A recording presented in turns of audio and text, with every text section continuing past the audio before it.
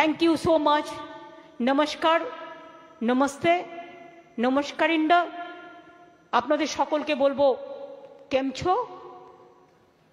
আপনাদের সকলকে সকলকে বলবো ভনাক্কম नमस्कारम सत श्रीकाल जी सलाम अलैकुम